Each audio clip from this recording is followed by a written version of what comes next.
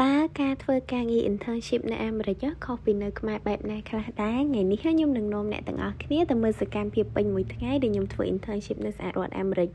នៅក្នុងក្រុមហ៊ុនមួយអញ្ចឹងណាហើយ internship ដែលខ្ញុំធ្វើនឹងគឺធ្វើពេល summer ពីព្រោះថាពេល summer គឺជាពេលដែលខ្ញុំអាចធ្វើ internship បានដល់ពេលពេលដែលរៀនធម្មតាហ្នឹងគឺខ្ញុំមានការងារជា graduate assistantship ផ្សេងអញ្ចឹងទៅអញ្ចឹងឥឡូវគឺយើងចាប់ផ្ដើមទាំងអស់គ្នាពេលព្រឹកឡើងគឺថាខ្ញុំត្រូវជិះទៅឆ្ងាយខ្លាំងមែនតើនិយាយទៅអ្នកទាំងអស់គ្នាគឺត្រូវជិះ1ម៉ោងជាងបណ្ដាក្រុមហ៊ុនដែលធ្វើការហ្នឹងដោយសារតែ apartment ហ្នឹងគឺនៅក្បែរសាលាដល់ពេលក្រុមហ៊ុនគឺអត់នៅក្បែរសាលាអញ្ចឹងត្រូវជិះរៀងឆ្ងាយប៉ុន្តែតាមផ្លូវហ្នឹងនេះដូចអ្នកទាំងអស់គ្នាឃើញអញ្ចឹងគឺមានទេសភាពមានកន្លែងជិះកាត់របៀបដូចកន្លែងគេមានយន្តហោះមានអីទេសភាពអីផ្សេងផ្សេងចឹងទៅ ហើយនេះគឺខ្ញុំបានមកដល់កន្លែងធ្វើការអញ្ចឹងនៅពេលដែលមកដល់គឺយើងត្រូវ scan នេះគឺជា key ទួចមួយដែលគេឲ្យយើង scan ដើម្បីចូលទៅក្នុងកន្លែងធ្វើការនឹងបាន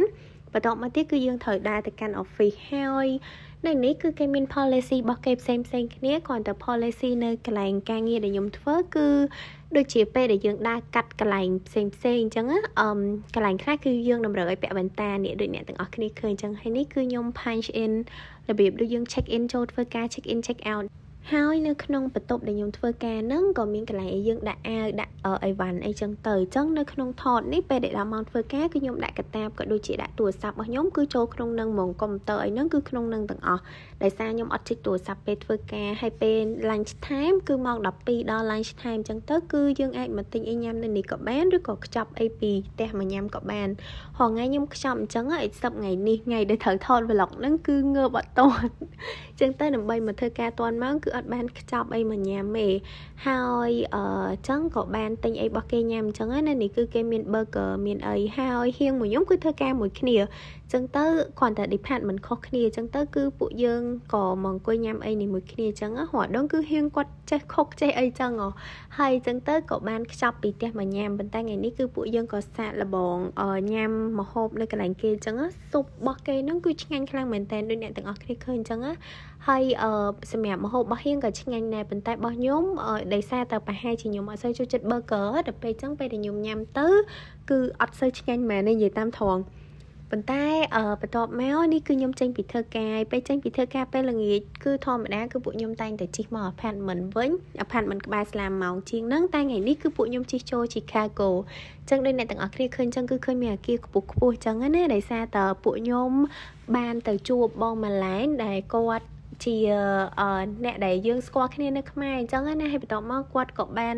មកអាមេរិកហើយគាត់នៅ San Francisco and then គាត់ក៏មក Chicago so ពួកយើងក៏ទៅជួបគ្នាអញ្ចឹងទៅហើយពួកខ្ញុំក៏ជិះទៅអ្នកទាំងអស់គ្នានិយាយទៅស្ទះខ្លាំងមែនតើគ្រាន់តែថាជិះពីកន្លែងការងារទៅ Chicago ហ្នឹងគឺ1ម៉ោងជាងចង់2ម៉ោងមូលហេតុគឺដោយសារស្ទះផ្លូវ ប៉ុន្តែពេលស្ទះហ្នឹងគឺខ្ញុំមិនបានថតទេដោយសារតតតមកដល់កន្លែងខាងក្នុង Chicago ហ្នឹងមកបានថតហើយអ្នកទាំងអស់គ្នាខ្ញុំនិយាយមែនណាសម្រាប់ខ្ញុំគឺខ្ញុំមានអារម្មណ៍ថា city ហ្នឹងគឺស្អាតខ្លាំងហើយខ្ញុំឡើងមានអារម្មណ៍ថាស្រឡាញ់ city ហ្នឹងខ្លាំងខ្លាំងហ្មងណាចំពោះរដ្ឋមួយចំនួនដែលខ្ញុំធ្លាប់ទៅក៏ខ្ញុំស្រឡាញ់ដែរគ្រាន់តែ Chicago ជា city មួយដែលខ្ញុំមានអារម្មណ៍ថា ខ្ញុំ feel like ពេលដែលខ្ញុំទៅដល់ភ្លាមគឺស្រឡាញ់ហ្មងអញ្ចឹងអ្នកទាំងអស់គ្នាមានធ្លាប់ទៅកន្លែងណាមួយដែលគ្រាន់តែទៅដល់ទីតាំងទៅដល់ city ហ្នឹងមានអារម្មណ៍ថាស្រឡាញ់អត់ចាំជួយ comment ប្រាប់ខាងក្រោមផងថាជា city ណានៅប្រទេសណាក៏ដូចជាឬមួយក៏ជាខេត្តណាជាដើមអញ្ចឹងទៅហើយនេះអ្នកទាំងអស់គ្នានៅតាមផ្លូវហ្នឹងគឺគេមានអឺ របៀបថាជាលេខចឹងណាហើយតាមផ្លូវហ្នឹងក៏យើងឃើញមានទេសភាពអីផ្សេងផ្សេងដែរហើយនេះគឺជាកន្លែង Navy Pier អឺ Navy Pier ហ្នឹងខ្ញុំនឹងទៅថតវីដេអូជូនអ្នកទាំងអស់គ្នាមើលមួយសារទៀតហើយឥឡូវហ្នឹងគឺពួកយើងបានមកយកបងម៉ាឡែននេះនេះដើម្បីទៅញ៉ាំអីជុំគ្នាអញ្ចឹងណានេះគឺជួបគាត់ហើយនិយាយទៅអ្នកទាំងអស់គ្នាខ្ញុំ excited ខ្លាំងហើយដោយសារតើបានជួបអ្នកស្គាល់គ្នានៅនឹងអីចឹងណាហើយពួកយើងក៏ធ្វើដំណើរទៅកន្លែងញ៉ាំអីជុំគ្នា និយាយទៅគឺពួកខ្ញុំទៅញ៉ាំម្ហូបបែបជាម្ហូបចិន ដែលម្ហូបចិនហ្នឹងគឺមិនមែនបែបចិនអីខ្លាំងណាស់ណាជារបៀបស៊ុបអីចឹងគាត់ពួកយើងទៅញ៉ាំនៅ China Town ហើយយើងញ៉ាំស៊ុបញ៉ាំខ្យងរបស់គេអីចឹងណាហើយរសជាតិហ្នឹងគឺឆ្ងាញ់ខ្លាំងមែនតើឥឡូវហ្នឹងគឺពួកខ្ញុំកំពុងតែលាយទឹកជ្រលក់និយាយទៅអ្នកទាំងអស់គ្នាប្រហែលជាឃើញ food take ពេលល្ងាចរៀងច្រើនជាង food take នៅកន្លែងការងារដោយសារតើពេលធ្វើការគឺខ្ញុំអត់ប៉ះទូរស័ព្ទទេ so ពេល break time គឺខ្ញុំទៅញ៉ាំបាយហើយជាពេលដែលខ្ញុំថតឲ្យអ្នកទាំងអស់គ្នាពេលញ៉ាំអីហ្នឹងហើយឥឡូវគឺពួកយើងក៏បានញ៉ាំអីជុំគ្នាញ៉ាំស៊ុបជុំគ្នាអីចឹងណាហើយនិយាយគ្នាលេងមួយចំនួនអីចឹងទៅហើយតរិញនៅនឹងឆ្ងាញ់ខ្លាំងខ្លាំងហ្មងអ្នកទាំងអស់គ្នានិយាយមែនឆ្ងាញ់សាហាវ ហើយបន្ទាប់មកទៀតពេលដែលពួកយើងជួបគ្នាហើយពួកយើងក៏បានអឺចេញពីកន្លែងហ្នឹងហើយយើងក៏បានទៅបងម្លែងគឺគាត់ទៅចូលរួមកម្មវិធីតរបស់គាត់ទៀតកម្មវិធី graduation ដែលគាត់ត្រូវចូលរួមផ្សេងទៀតហើយដល់ពេលពួកខ្ញុំវិញគឺពួកខ្ញុំក៏បានជិះមកខាង decap ម្ដុំខាង apartment របស់ពួកខ្ញុំវិញចឹងទៅចឹងអរគុណច្រើនមែនតើអ្នកទាំងអស់គ្នាដែលបានមើលវីដេអូនេះពីដើមដល់ចប់ខ្ញុំនឹងព្យាយាមធ្វើ vlog ជាច្រើនផ្សេងទៀតដើម្បីចែករំលែកជូនអ្នកទាំងអស់គ្នាតេតងជាមួយនឹងជីវិតរស់នៅនៅប្រទេសអាមេរិកនឹងចឹងអរគុណច្រើនមែនតើមួយសារទៀតហើយបើសិនជាអ្នកទាំងអស់គ្នាចង់ឃើញ vlog អីផ្សេងផ្សេងណាចាំជួយ comment ប្រាប់ខាងក្រោមផង